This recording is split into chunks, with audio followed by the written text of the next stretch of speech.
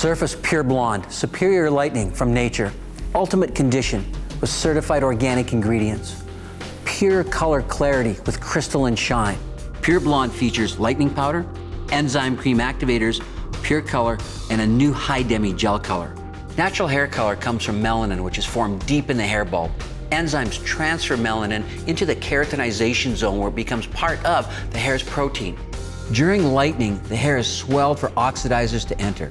The melanin and protein bonds surrounding the melanin are broken, leaving fragmentation and the color clouded with free radicals. With Pure Blonde, the certified organic penetrating oil of Babassu soothes and conditions the lifting process while carrying the oxidizers deeper, providing for fast on-tone lifting.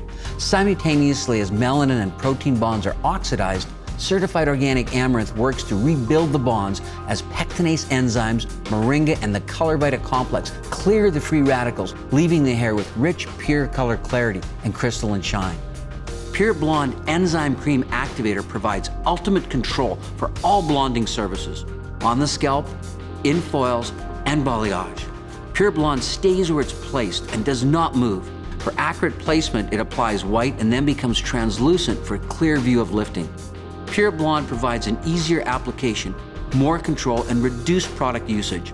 Pure Color is a Hy-Demi gel color. Hy-Demi is a new category of color living between demi and permanent color. Babassu oil carries the Hy-Demi color deeper into the hair, and amaranth protein supports the attachment of color while providing a natural UV protection.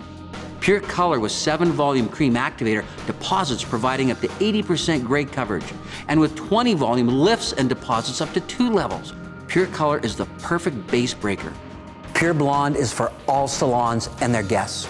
Beautiful, healthy lightening and toning, all while respecting personal health and the earth. Surface, hair, health, and art.